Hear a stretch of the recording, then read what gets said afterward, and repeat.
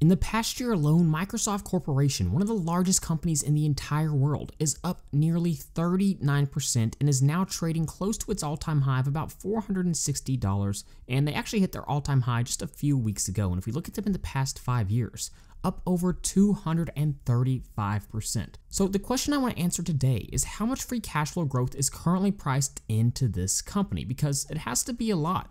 And to find this out, we're going to be using what is known as a reverse discounted cash flow analysis model. So let's go ahead and talk about how this works and show you an example.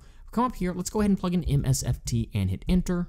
And we can see all this data is going to load in thanks to the help of the ticker data add-on that allows you to automatically import stock financials. So if you'd like to get the ticker data add-on and access to any of my spreadsheets, then you can head over to tickerdata.com at the link in the description.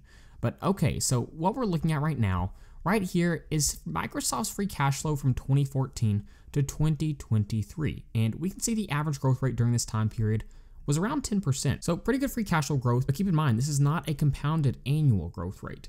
So assuming 0% free cash flow growth, Right now, Microsoft would be worth about $105.83 per share if we assume a perpetual growth rate of 2.5% and discount rate of 8.5%.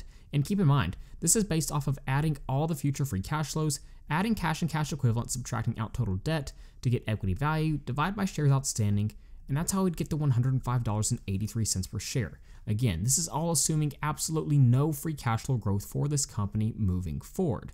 So what would happen if we assume a 10% free cash flow growth rate? If we plug in 10%, we can see it'd be worth about $215.96 per share. So obviously, the market is pricing in quite a bit more than 10% free cash flow growth into this company. If we bump this all the way up to 15%, reverse DCF price per share of about $306.16. Again, we want to find out what gets us to that current price of $460. If we bump it all the way up to 20%, you can see we're almost at $460. So if we bump it up to 21%, we get very close to it, just $1 per share above it. So basically what the market is telling us at this current trading price, the market is pricing in about 21% free cash flow growth into Microsoft over the next decade. That is a lot of free cash flow growth for a company that's already a $3 trillion company. But I think the reality is this is possible, and one of the things you have to understand about Microsoft, if we look at the most recent quarter's earnings report, we can see they have a ton of different services and products. So Microsoft is essentially an ETF in itself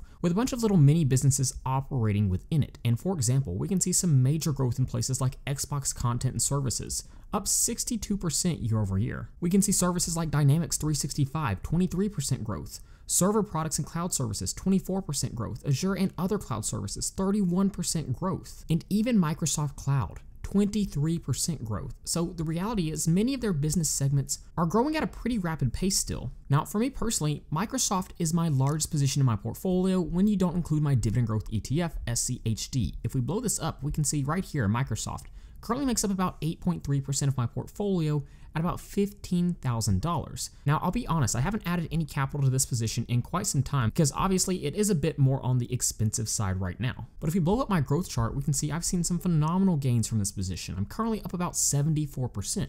I remember adding shares of this company just a few years ago when it was trading around $220 per share, and a lot of people thought I was crazy for doing that but I definitely don't plan on selling my shares anytime soon. I think this company is going to be around for a very long time and it still has a lot of potential growth in the future. So even if we see a pretty large decline in share price over the next couple of years, it doesn't really concern me. I'd look at that as an opportunity to add more shares. Now, if we look at this company from a balance sheet perspective, come up here, plug in MSFT and hit enter.